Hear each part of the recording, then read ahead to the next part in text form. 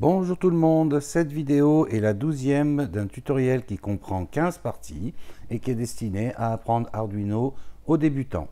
Dans cette vidéo, on va voir l'utilisation d'un moteur à courant continu, on verra comment le connecter à votre Arduino et comment le programmer. On commence tout de suite après l'intro.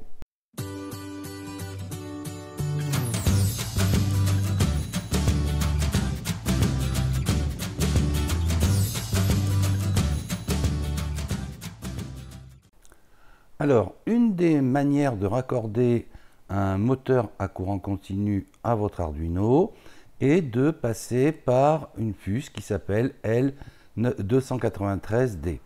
Alors, à quoi sert cette puce Elle sert à trois choses. Euh, première chose, elle sert à alimenter votre Arduino. Deuxième chose, elle va servir à faire varier la vitesse de rotation du moteur. Et la troisième chose est qu'elle va nous permettre de changer le sens de rotation du moteur. Alors, je vous rassure, cette puce, elle est dans tous les kits de démarrage et euh, elle est très simple à utiliser puisqu'il suffit de quelques connexions pour la raccorder à votre Arduino. On va faire un petit tour euh, global de cette puce, très rapide, pour que vous compreniez comment on l'utilise. Alors en fait, cette puce, elle permet d'alimenter deux moteurs. Donc euh, toutes les informations que je vais vous expliquer sur ce côté-là, bah, vous les retrouvez exactement de la même manière de l'autre côté. Et donc là, on a branché un moteur sur un des côtés, mais on peut faire exactement la même chose de l'autre côté. Alors cette puce, elle contient une broche qui, va destiner qui est destinée à alimenter le moteur en 5 volts, d'accord? Une, euh, deux broches centrales ici qu'on appelle terre et euh, qui, sont destinées à euh, alimenter la broche de la terre au moins de l'Arduino. Alors, je fais une petite aparté ici pour vous dire que dans l'électronique Arduino, ce que l'on appelle la terre, c'est la même chose que ce que l'on appelle le ground ground ça veut dire terre d'ailleurs en anglais, euh, que vous retrouvez très souvent indiqué GND euh, sur la carte ou sur de nombreux composants euh, qu'on utilise avec Arduino. Et c'est la même chose que le moins. Donc, quand vous entendez terre, quand vous entendez ground, quand vous entendez GND ou que vous entendiez moins, tout ça, c'est exactement la même chose. Donc, là, les deux broches centrales permettent de raccorder la puce la terre. Ensuite, vous avez ici une broche euh, qui, est, appelée dans le simulateur activé 1 et 2. En fait, cette broche, elle va nous permettre de faire varier la vitesse de rotation du moteur. Alors vous voyez que cette broche, elle est raccordée à la broche 9 de l'Arduino, qui est une broche avec un petit tilde ici, ce qui veut dire que c'est une broche qui est analogique, plus exactement, c'est une broche dont la sortie est modulée. Pourquoi on doit euh, connecter euh, cette broche de la puce sur une broche modulée? C'est parce que l'on va envoyer un signal modulé qui va varier de 0 à 5 volts, qui peut prendre toutes les valeurs entre 0 et 5 volts, et qui va permettre, en fonction de cette valeur-là, d'avoir une vitesse soit nulle jusqu'à maximum du moteur. Donc c'est la raison pour laquelle la broche ici, la broche qui est nommée activée 1 et 2, elle doit absolument être connectée à une broche analogique ou qu'on appelle également modulée. Ensuite, vous avez deux broches ici qui sont nommées entrée 1 et entrée 2 qui, elles, sont raccordées à des broches digitales. Donc, qui ont deux valeurs possibles, soit 0, soit 5 volts, soit low, soit high, soit bas, soit haut, tout ça ce sont des termes équivalents. Et en fonction de la combinaison que l'on va faire avec ces deux broches, quand je dis combinaison, c'est-à-dire qu'on peut avoir par exemple bas, bas, bas, haut, haut, bas et haut, Voilà, ça ce sont les quatre combinaisons possibles que l'on peut euh, appliquer à ces broches-là. eh bien, en fonction des différentes combinaisons, on le verra plus tard en programmation, eh bien, on va soit arrêter le moteur, soit le faire tourner dans un sens, soit le faire tourner dans le sens inverse. Donc, ces deux broches-là, elles permettent de choisir le sens du moteur et le mettre en route. Et enfin, vous avez les deux broches ici, qui sont les broches de sortie, et que nous allons raccorder au moteur. C'est elles qui vont permettre l'alimentation du moteur. En fait, un moteur à courant continu, c'est très simple à faire fonctionner. Il suffit de euh, lui appliquer une tension euh, pour qu'il soit traversé par un courant. Si on veut augmenter ou diminuer la vitesse de ce moteur, eh on augmente ou on diminue le courant qui passe dans ce moteur. Et si on veut changer le sens de rotation du moteur, eh il suffit d'inverser le sens du courant dans le moteur. Alors, au lieu de faire tout ça manuellement, on ne va pas changer les fils de place, etc. Eh bien tout ça passe par cette petite puce qui, en fonction des instructions qu'on va lui donner, va, elle, moduler ou inverser le sens de rotation du moteur et sa vitesse de rotation. Voilà. Donc, pour le raccordement, eh bien c'est simple, il suffit d'appliquer celui qui est indiqué dans ce modèle-là. Donc, on branche évidemment l'alimentation sur le plus, une des deux broches terre, je rappelle qu'il y en a deux, une des deux broches terre sur le moins, Ensuite, on, broche, on, connecte la broche qui est nommée activée 1 et 2 sur une broche analogique de l'Arduino. Donc là, on a choisi la broche 9. Ensuite, pour les broches d'entrée 1 et 2, on a choisi les broches 7 et 8 qui, elles, doivent être digitales. Et enfin, les deux sorties de la broche, sortie 1 et sortie 2, doivent être connectés au moteur. Donc voilà pour la manière dont on raccorde le moteur à l'Arduino. Maintenant, on va voir comment programmer tout ça avec notre euh, environnement Arduino. Alors, j'ai fait un petit programme qui va nous permettre euh, de faire fonctionner notre moteur.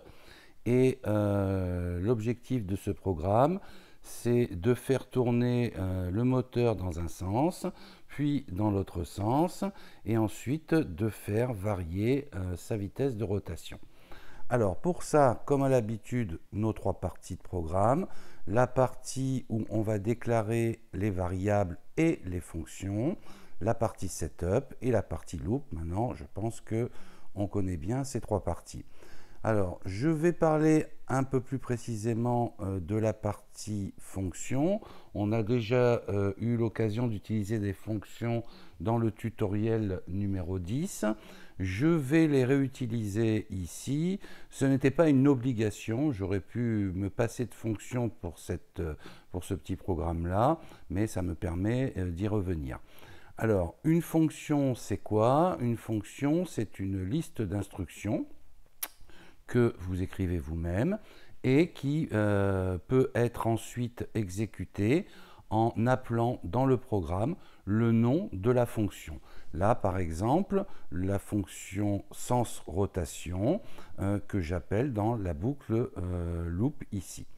Alors, une fonction, elle peut soit nécessiter aucun paramètre et renvoyer aucun paramètre, ce qui est le cas ici. Euh, entre les parenthèses, on voyait qu'il n'y a rien du tout. Et euh, l'unité de le type de cette euh, fonction, c'est void, ça veut dire vide, ça veut dire qu'elle ne renvoie rien. Pourquoi je vous dis ça? Parce qu'il est possible, et on le verra dans des tutos ultérieurs, de créer des fonctions qui permettent, par exemple, de, mettons, je vous donne un exemple tout simple, de faire l'addition de deux éléments. Donc, dans une fonction de ce type-là, quand on va l'écrire, quand on va écrire les différentes instructions, quand on va nommer cette fonction, entre parenthèses, on indiquera quels sont les éléments dont on a besoin pour que la fonction s'exécute. Là, dans le cas d'une addition, ben, on aura besoin de deux entiers si on additionne deux entiers. Et elle retournera, elle renverra comme résultat, non pas void ici, mais elle renverra un entier. Et donc là, au lieu de mettre void, on mettra int. Alors là, ce n'est pas le cas. Cette fonction, elle n'a besoin d'aucun paramètre et elle ne renvoie aucun résultat. Elle va juste permettre de modifier le sens de rotation. Alors, je déplie la fonction, ça me permet également de vous montrer cette petite option dans l'environnement euh, Arduino. En cliquant ici, j'ai la possibilité de euh, dérouler la fonction ou de, au contraire, la dissimuler, ce qui permet de rendre plus clair le programme. Donc là, je vais la dérouler. Qu'est-ce qu'il y a dans notre fonction sens de rotation? La première chose que j'indique, c'est que je dis que sur la broche contrôle vitesse, qui est notre broche numéro 9, hein, je vous rappelle que tout à l'heure, on a dit que la broche numéro 9, c'était une broche analogique. Pourquoi? Puisque c'est la broche qui va contrôler la vitesse du moteur. Et donc, on peut appliquer à cette broche une, euh, une variable qui peut aller de 0 jusqu'à 255. 0, c'est la vitesse nulle, donc le moteur est à l'arrêt et 255, c'est la vitesse maximum. Donc, je fais d'abord la chose suivante, c'est que j'indique à euh, l'Arduino que je veux que ma vitesse soit maximum. Ensuite, je vais utiliser les deux autres broches de mon Arduino, c'est-à-dire les broches 8 et 7, que j'ai appelées Sens 1 et Sens 2, et euh, qui, elles, sont des broches digitales, donc sur lesquelles je ne peux appliquer que les valeurs low ou height. Et lorsque j'applique la combinaison sens 1 égale high et sens 2 égale low, pardon, je fais tourner mon moteur dans le sens horaire.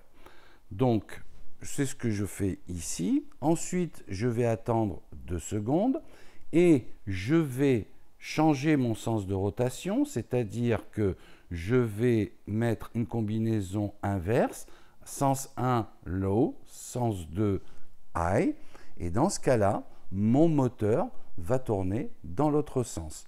J'attends encore 2 secondes et je mets les deux broches à low, ce qui permet d'arrêter le moteur.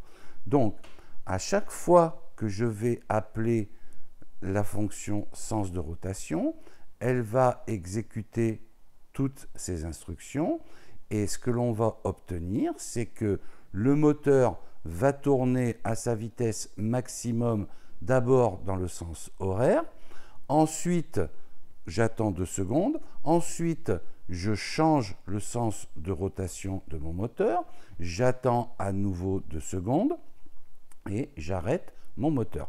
Donc voilà pour ma fonction sens de rotation. Alors, je vais la replier, c'est le terme qu'on utilise pour que ce soit plus clair, et je vais déplier ma fonction vitesse de rotation. Donc là, l'objectif, ça sera de faire varier progressivement la vitesse de rotation de mon moteur. Alors, pour ça, d'abord, je mets en route mon moteur en lui donnant, bon là j'ai choisi le sens anti-horaire. Pour ça, j'ai mis sens 1, la broche sens 1, donc je rappelle que c'est la broche 8. Lorsqu'on se met avec la souris dessus, on a la valeur de euh, notre variable, puisqu'on lui avait attribué la valeur 8, et eh bien là, l'interface nous dit que sa valeur est 8.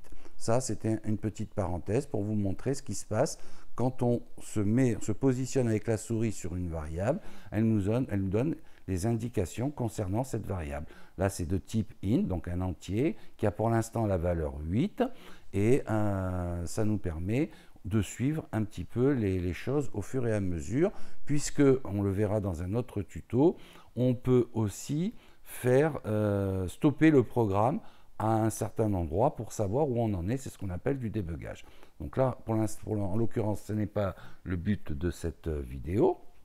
Alors, donc, pour revenir à notre fonction vitesse de rotation, je fais d'abord tourner mon moteur dans le sens anti-horaire, donc je mets low pour sens 1 et high pour sens 2, et ensuite je vais faire une boucle pour une valeur de i qui va aller de 0 jusqu'à 255, donc là j'ai mis i inférieur strictement à 256, et j'incrémente ça de 20 en 20. Donc ensuite, je récupère cette valeur de i et j'indique à l'Arduino que j'applique cette valeur à la broche contrôle vitesse. J'attends une seconde et je poursuis ma boucle. Donc qu'est-ce qui va se passer dans cette boucle? C'est que mon moteur va partir de la valeur 0, puisque la première valeur de i, c'est 0. Donc la première vitesse que je vais demander, c'est 0. Et puis de seconde en seconde, je vais incrémenter ma valeur de i de 20 en 20. Donc mon moteur va tourner chaque seconde plus vite d'un incrément de 20 en 20 jusqu'à la vitesse maximum qui sera de 255 pour ma boucle et qui correspondra à la vitesse maximum de mon moteur. Alors, selon le type de moteur, euh, je ne suis pas en mesure de vous dire le nombre de tours par minute auquel ça correspond, puisque ça correspondra, ça, dépendra du type de moteur que vous mettrez euh, au bout. Mais ce qui est sûr, c'est que pour une valeur de i de 0, on aura la valeur nulle de vitesse, c'est-à-dire le moteur sera à l'arrêt. Et pour la valeur de i égale 255, la plus haute possible, on aura la valeur maximum de rotation du moteur que vous aurez mis dans votre montage. Alors là, en l'occurrence, juste une petite précision, comme je vais de 20 en 20, eh bien en fait, la vitesse, le i maximum que je pourrai obtenir dans cette boucle, ça sera 240, puisque en fait, on va avoir i euh, égale 240, celle d'après, ça sera 260, mais comme j'ai demandé qu'on s'arrête à 256, en fait, la valeur maximum qu'on obtiendra ici, ça sera 240. Donc, une fois que j'ai fait ma boucle complète, c'est-à-dire que mon moteur sera passé de la vitesse 0 à sa vitesse maximum, je vais attendre une seconde, ici, et je vais redescendre de 20 en 20 jusqu'à avoir ma vitesse ici minimum avec le même principe. J'applique à la broche contrôle vitesse d'abord de 155, c'est-à-dire le max, pour aller jusqu'à 0. Donc là, en vérité, euh, je pense que ça sera pas tout à fait 0, puisque je descends de 20 en 20 et 20 n'est pas un multiple de 255, jusqu'à en fait ma vitesse minimum. Et une fois que j'aurai fait ces deux boucles, j'arrête mon moteur. Et comment je l'arrête? Eh bien, en indiquant aux broches sens 1 et sens 2, donc les broches 8 et 7, en leur indiquant de se mettre sur l'eau. Donc voilà pour mes deux fonctions. Alors je vais replier également la fonction vitesse rotation pour qu'on y voie plus clair. Ensuite, comme à l'habitude, dans ma fonction setup qui ne se produit qu'une fois, je vais initialiser à la fois euh, les variables, euh, les broches qui en ont besoin, etc. Donc, je vais, par exemple, dans notre cas ici, indiquer que les trois broches contrôle vitesse sens 1 et sens 2, donc les broches 9, 8 et 7, sont en mode sortie, puisque de l'Arduino, je vais envoyer une information vers ces broches, je vais envoyer une tension, un courant à partir de ces broches. Je ne vais pas en recevoir, d'accord? Quand on en reçoit, on les règle sur input, et quand on en reçoit, c'est par exemple lorsqu'on utilise un capteur quelconque qui va donner lui une information à l'Arduino, et dans ce cas-là, on règle les broches sur input. Là, c'est un petit rappel que je fais, parce j'en ai parlé à de nombreuses reprises dans les tutos précédents. Mais donc là, en l'occurrence, je vais sortir des informations de mon Arduino pour les transmettre à mes éléments, à mes composants. Donc, mes trois broches vont être en mode output. Et ensuite, toujours dans ma fonction setup, j'ai décidé de commencer avec le moteur à l'arrêt. Et donc, j'ai réglé mes broches 8 et 7, donc, que j'ai appelé sens 1 et sens 2, à l'eau. Et ensuite, dans ma boucle, ce que je vais faire, c'est que je vais appeler la fonction sens de rotation, donc qui va me permettre, comme on l'a vu tout à l'heure, de faire tourner le moteur dans un sens puis dans l'autre. Ensuite, j'attends une seconde. Ensuite, j'appelle ma fonction vitesse de rotation qui va me permettre de faire varier de 0 jusqu'à son maximum et ensuite de son maximum jusqu'à 0 le moteur que j'ai connecté à mon Arduino. Donc voilà euh, le petit programme qui va vous permettre de tester euh, votre moteur. Donc maintenant, on va regarder ce que ça donne sur un montage réel. Alors, je vais maintenant téléverser le programme dans l'Arduino. Voilà. Et donc, on va voir le moteur aller d'abord dans un sens, ensuite de l'autre, les deux à la vitesse max. Et maintenant, il va petit à petit prendre de la vitesse. Sa vitesse va augmenter jusqu'à atteindre son maximum. Et ensuite, elle va, ralentir pour revenir au minimum, tel que nous l'avons programmé. Voilà, etc., etc.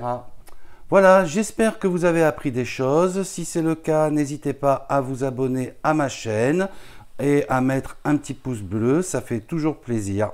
Merci et à très bientôt.